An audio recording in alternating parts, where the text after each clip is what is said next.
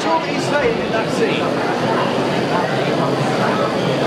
I've been looking forward to that coming out on the DVD. But no, it's still on DVD. Even though, last episode,